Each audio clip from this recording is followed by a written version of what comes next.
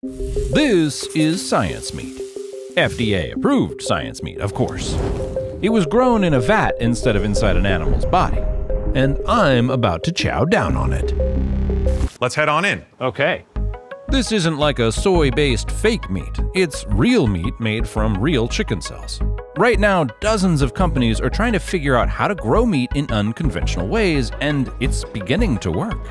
Why do this? Concentrated animal agriculture takes a huge toll on the environment, and with the demand for meat expected to skyrocket in the next few decades, well, it's a big problem. Meat is a product that we've loved for thousands of years and the demand for it is doubling. We have to come up with ways to be ingenious and give people what they want in a more efficient package. We can meet this doubling of demand with a production method that is safe, sustainable, a lot more humane. So the question is, why don't we need an opportunity like this to be explored right now with urgency? What if we could grow most or even all of the meat we need with a much smaller impact? What if we could make healthier meat? Or meat that was otherwise impossible to get? Science is about asking questions that you don't know the answers to. It's about recognizing the limitations of society that you have at the time that you must overcome. And what is the science telling you? This is Hard Reset, a series about rebuilding our world from scratch. Welcome to Emeryville, California. It's right next to San Francisco. Pixar is there, there's an IKEA, and a pretty good mall. And this place, a high tech factory for cultivated meat. This is Uma. He's the founder and CEO of Upside, and we hear he's a blast at birthday parties. I grew up in a meat eating family, loved eating meat. One day, as a kid, I went to a friend's birthday party. We were having fun in the front, and then I walked to the back of the house, and that is where they were slaughtering the animals that were being used to feed the people in the front. It was the birthday, death day happening at the same time with incredible joy in the front and incredible suffering in the back. And I think that was the first time I came directly face to face with the duality of meat. I'm a cardiologist by training. During medical school, we would take stem cells re-inject them into the person's heart to regrow the heart muscle. And to me, it felt like, oh my gosh, what if you can take cells from an animal and grow meat from it? What would that be? From a scientific standpoint, cultivated meat is an unbelievably simple idea that's been around for probably as long as people have been eating meat, which is if I just want a chicken wing, do I need a whole chicken? This is Eric, our tour guide and professional scientist, and I'm gonna guess basketball player? College basketball, and not very good at it. Anyway, after we got all suited up with these super fashionable beard nets, Eric gave me a tour of the facility where they make the meat. What do you feed the cells? We feed the cells the same thing you and I would eat, except in a much more simplified form. So if we're eating say meat or protein or starches in like a potato, we just break those down to its components. Amino acids in the case of protein, sugars in the case of starches, vitamins, minerals, those sorts of things. You take cells which are living, and as long as they're fed, kept warm, and given a place to grow without competition from bacteria, they'll continue to grow using their genetic programming. And they will produce the same thing that's in an animal, and then you can eat it. This way, you can grow the meat without needing to grow the rest of the animal. No bones, no skin, no nervous system. The only problem with this is that it also doesn't have an immune system. So if bacteria gets into the process, it pretty much ruins the whole batch. And the most important thing, of course, is that once we put anything into the system, it is in fact sterile. We monitor all the different types of bacteria in the air and on the surfaces. Huh. We also monitor what's inside here, but more importantly, what's not here. Right. Bacteria, viruses. Our main line of defense is prevention uh, is effectively just never letting bacteria or viruses in. Effectively, we are the immune system in a facility like this. This is important because one of the main advantages of this technology is that you wouldn't need to use antibiotics like we do now in animal agriculture. The moment we take the cells directly from a farm animal, we have to pierce its skin in order to get the cells. There's going to be bacteria there. We use a small amount of antibiotics to make sure no bacteria transfer into our system. And this is, I'm talking about over the course of years before we actually get them into production. Once they're in production, we do not use antibiotics at all.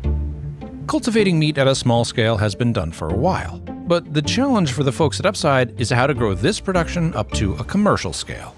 And Oh, this I'm is happy. great. This is great. So many more tanks. So much more room for activities. In case you missed it, Eric just referenced the classic movie Step Brothers, So many activities. which means he and I are about to become best friends. Did we just become best friends? Yep. This is the production floor. Things that work here get scaled massively up for commercial scale production. Right. So this facility can do up to about 400,000 pounds of cultivated meat per year, which is a lot for Yeah. cultivated meat, but in the grand scheme of meat, it's a very small amount.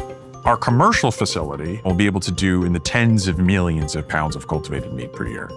If this can be done at a scale that competes with existing meat production, it'll mean a much cleaner environment. It takes two years to raise a cow before it goes to slaughter. It takes nine months for a pig before it goes to slaughter. And it takes two months for a chicken before it goes to slaughter. It takes us two weeks to grow meat. And everything we make can be eaten. Therefore, we just see first principle advantages that are significantly superior to conventional meat. But for all of this to work, two things need to happen. Companies like Upside need to be able to make this stuff at an affordable price, and people need to want to eat it. So, what does it taste like? Let's find out.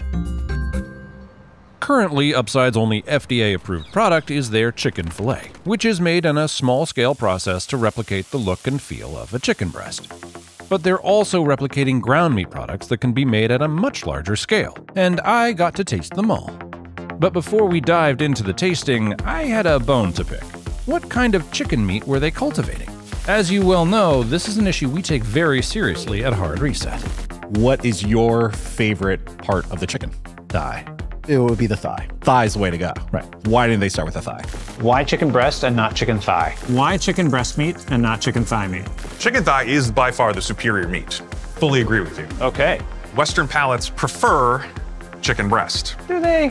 Western palates, when they think chicken, our research shows they want white meat, they want breast meat. It is also a lot of the meat that's put into chicken nuggets. That was just the familiar cut that people wanted. However, our chicken breast meat has intentionally some dark meat character added into it on purpose in the form of connective tissue that prevents it from overcooking. And I think it sort of redeemed it. The people wanted it, so we're giving it to them. Make better choices, America. Yeah, I mean, the optimal preparation for most chicken is fried Yes, and, yeah, and yeah. breaded. So that's the breakfast sausage. The ground product, is that correct? Yeah. The only animal product in there is chicken cells. Oh my gosh. Breakfast sandwich. Thank you. All right. So this is my first bite of cell cultivated chicken. This was also, apparently, my first bite of solid food. Oh my goodness, there's at least three pounds of cheese in my beard. I, I promise you, I do know how to eat. I'm just not sure what happened this day. That tastes really good. how much was that was in my mustache is what I want to know. Uh, Quite a lot, as it turns out. how much does this cost compared to an equivalent product at a restaurant? Our goal is to put it at about 30% or so price premium to start with. Okay. We have no. No, please don't zoom in on. Ugh, please. Ugh, finally. Uh, I'm sorry, what were you saying, Uma? the cost of making this inevitably will be cheaper than conventional, but that's going to take time as we scale. Right. And I think that sweet spot is going to be hard to exactly predict, but it's going to be five years plus. So here we have our upside chicken pot stickers. Amazing. I'm gonna go ahead and cut into this guy. It tastes really good. Apparently, my vocabulary for describing food is limited to really good. It's really good. This is really good. It's really good. That's why I'm not the one handing out Michelin stars, folks. Watch out, Chick Fil A. really good. I'm so very articulate. Anyway, the food we ate was delicious, but let's be honest. Even a coffee mug that has been breaded, deep fried, and served with a nice runny egg would be pretty tasty. So I made a point of trying the meat on its own, without all the extra stuff, and yeah, it, it tasted really good. You can definitely see the fibers in there. It tastes exactly like you expect it to, and in your mouth, it chews apart the way you expected meat to. It tastes really good. I was really hung up on like why breast meat and not thigh meat, but this is really good breast meat. So it's, it's, like- it's really tasty. I can't stress enough that it tastes and feels just like the meat I've known all my life. It's somewhat weird that this bleeding edge food technology is all about trying to replicate a familiar experience. If they succeed, it'll be indistinguishable from what you already know. So, what would the future look like with this technology at scale? Picture a scenario where we restart meat production from scratch. Animal agriculture would probably still be right at the center of this new system. At the right level of density, animal agriculture can be really good for maintaining some ecosystems. But we'd hopefully say goodbye to concentrated feedlots. The cells from these animals could be harvested and used to grow millions of pounds of meat, all while the animals themselves are alive and kicking. We do not have to have the intense animal agriculture or confined animal feeding operations where we put millions of animals in small areas. We can have regenerative agriculture where animals are roaming freely. They don't have this intense confinements. We can have cultivated meat be the industry that can supply delicious, high quality meat for the largest amount of population with the lowest amount of impact. If we saw the end of slaughterhouses without losing our access to the meat they provide, I don't think many people would feel bad about that. I have not met a single person to date that walked out of a slaughterhouse and said, I love this process. Most people leave feeling somewhat scarred or conflicted. And the meat we make might be healthier for us too, where the proteins and fats are all optimized for our health. The idea of, of customizing the product is the holy grail of this whole industry. Maybe one of these days we're making the nutritions of like a salmon fillet, but in a red meat product, or a type of meat we can't even imagine. Eric might not want to say it out loud, but I think we all know it's dinosaur meat that people want dinosaur thigh meat. the production of meat could be done at a much more manageable scale, where cultivators could operate in any neighborhood, eliminating the need to ship meat over long distances like we do now. If we continue to produce meat in the way we do now, we will unfortunately have to make a choice between existing as a species or giving up the choices we really love. The answer is we need it right now. We need it right now. We needed it 50 years ago, but the technology did not exist. The technology exists now, and we need to get ahead. If you want to distill science at its core, it's a very empathetic position.